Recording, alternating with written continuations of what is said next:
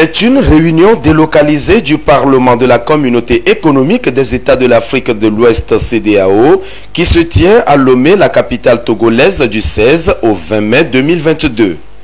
Ils sont membres de la commission mixte, comptes publics, administration, finances et budget, politique macroéconomique et recherche économique, commerce, douane et libre circulation, à prendre part à cette réunion importante sur la mise en œuvre des prérogatives que leur confèrent les nouveaux textes de la Commission en matière de reddition des comptes.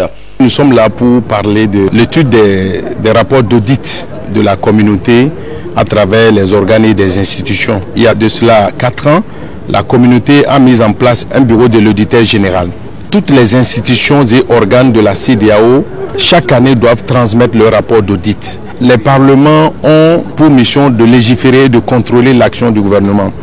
Dans le deuxième volet, à la fin de l'exécution de chaque projet, de chaque budget, il y a ce que nous appelons la loi de règlement.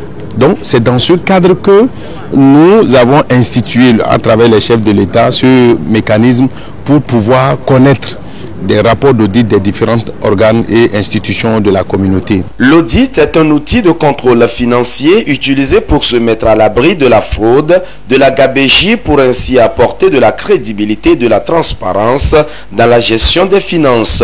Et les parlementaires de la CEDEAO se doivent de maîtriser le mécanisme pour un contrôle et un suivi efficace des finances de la communauté. Nous aurons quatre communications. Nous avons la commission elle-même qui est représentée, qui nous fera la situation. Nous avons les imminents professeurs de nos facultés de droit et d'économie qui sont également avec nous pour nous entretenir sur des propositions pratiques de mise en œuvre du comment nous pouvons des mécanismes de mise en œuvre de ces prérogatives. C'est seulement deux articles, mais dans les thèses de la CDAO, il y a des saisines pour lesquelles vous donnez des avis facultatifs, il y a des saisines pour lesquelles vous donnez des avis obligatoires. Dans ce contexte, c'est une saisine obligatoire. Donc la contrainte, elle est là. Nous devrions respecter la loi et c'est dans ce cadre que nous avons voulu voir avec les experts et également la commission de la CDAO le comment nous allons mettre en œuvre ces dispositions de l'acte additionnel. Les modalités de la mise en œuvre effective des articles 9 et 11 de l'acte additionnel relatif au Parlement en ce qui concerne l'examen des rapports d'audit de la communauté, c'est le thème retenu pour cette réunion délocalisée qui va durer 5 jours.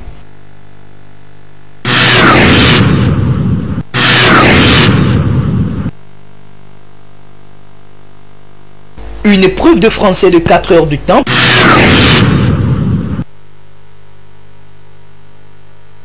Une épreuve de français de 4 heures du temps pour démarrer.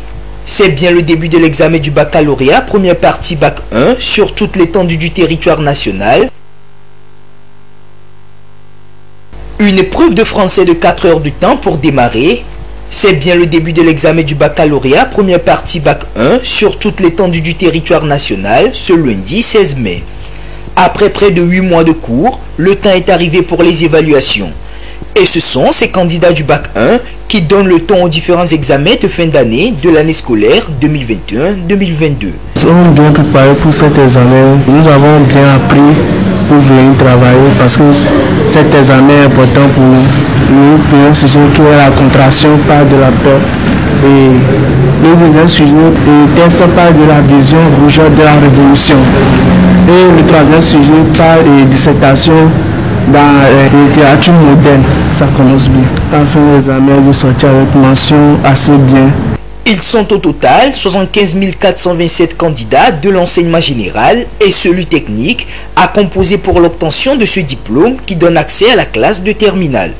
Ici, dans ce centre du complexe Le Réveil d'Or, tout se passe bien selon le chef centre avec une salle spécialement réservée aux candidats à handicap visuel. Tout se déroule normalement. Jusqu'à présent, il n'y a pas d'incident, il n'y a rien d'anormal. On est au centre d'écrit Le Réveil d'Or où on a deux séries qui composent les séries A4 et les séries D.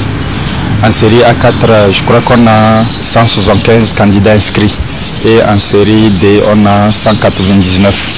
Et tout le monde est là, sauf quatre personnes qui n'ont pas répondu et présents aujourd'hui. On ne sait pas pour quelles raisons ils ne sont pas signalés. À part ça, notre centre a une particularité. On a des candidats malvoyants Et ça a été comme ça l'année dernière. Ils s'étaient sentis lésés parce qu'il faut qu'on leur euh, mette dans les bonnes conditions pour pouvoir composer. Donc cette année, l'État, le, le, gouvernement a pris des dispositions par le biais de notre ministère.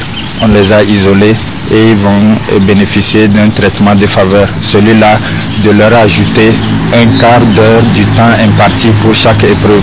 Parce que pour écrire le, leur braille, il faut un peu, de, un peu plus de temps. J'ai fait des révisions des exercices pour mieux faire les amis et réussir à la fin. Je n'ai pas peur parce que nous aussi nous sommes comme les autres. C'est pas à cause de l'handicap que va échouer. J'ai promis à mes parents d'avoir une mention bien à la fin. Pour constater le démarrage effectif de cet examen du bac 1, le ministre délégué auprès du ministre des enseignements primaires et secondaires, chargé de l'enseignement technique et de l'artisanat, Eke Odin, a sillonné quelques centres d'écrit du Grand Lomé à ce premier jour. Démarré ce lundi, l'examen du bac 1 section 2022 prend fin vendredi 20 mai.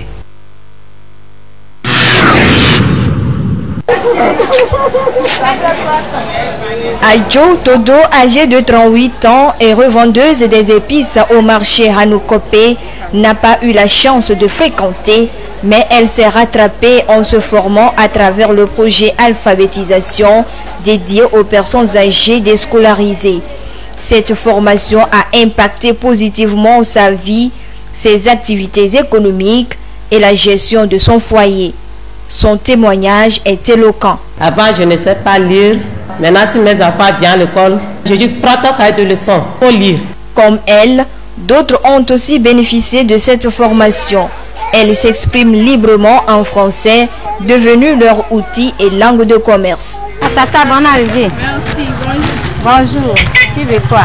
Les touches là, c'est combien Lequel L'enfant là, il a quel, quel mois Six mois. Six mois, ok. A ça, c'est 3500, 3200 et 3000. Il y en a pour 1200 aussi. Cette formation m'a aidé beaucoup à faire beaucoup de choses. Avant, quand un monsieur qui ne parle pas élevé vient acheter, je ne peux pas lui répondre. J'appelle mes soeurs, viens m'aider. Avant, je ne comprends rien. Et maintenant, au marché, je vends. Quand les clients viennent, pas de problème pour moi. Le centre Kekeli est l'un des centres dans la capitale qui forme ces femmes revendeuses des marchés de Lomé. Les responsables remercient le gouvernement pour son appui multiforme qui permet d'assurer un bon encadrement et une bonne formation aux bénéficiaires. Même les manuels que l'État a mis à notre disposition aussi, les sœurs ont eu cette aimabilité-là de les acheter et mise à la disposition des, mamans gratuitement. Nos mamans, quand on marché le Togo pour acheter, alors que ces clients-là ne, ne comprennent pas notre dialecte, alors il falloir qu'on puisse apporter un plus à ces mamans-là qui gèrent vraiment les foyers à la maison, qui gèrent les enfants à la maison. Donc, raison pour laquelle elles ont vraiment émis cette idée-là de créer ces centres pour les appuyer. Au Togo, 43,3% des Togolais âgés de 15 à 44 ans sont analphabètes, dont plus de deux tiers sont des femmes. Le taux est en baisse depuis 2013 avec l'adoption de la stratégie nationale de l'alphabétisation et de l'éducation non formelle. Cette stratégie doit ses résultats aux différents programmes d'alphabétisation, notamment le projet d'appui à l'alphabétisation fonctionnelle des femmes et le programme de renforcement de capacités pour l'amélioration de l'alphabétisation et de l'éducation non formelle.